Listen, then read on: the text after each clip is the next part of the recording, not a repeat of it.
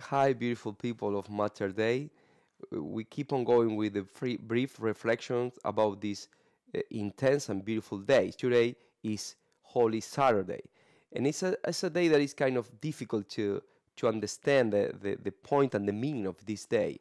The father of the church uh, spoke from the beginning about the big silence of this day because they say the king is sleeping. Jesus is sleeping, then it's the day of the big silence. Uh, then I think that we can concentrate in the figure of Our Lady in this day. Uh, try to imagine Our Lady, the Mater Dolorosa, being next to Jesus when he was dying. Try to imagine to when when you saw a movie. Try to imagine that moment that is very that was very hard for her, for a mother, and then she was there, giving up his son for us.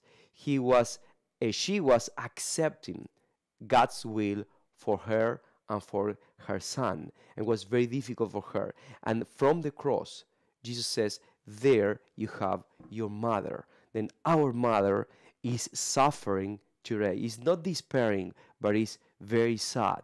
She is expecting the resurrection of the Lord. Then today is a day of silence, is a day to be close to Our Lady. Perhaps we pray the rosary in family uh, to her, asking for all the graces that we need in these difficult times of our world, and also to expect the beautiful moment of the resurrection of the Lord.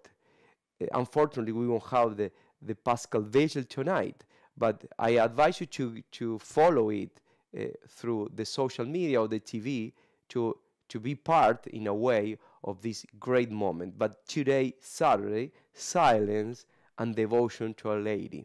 God bless you abundantly.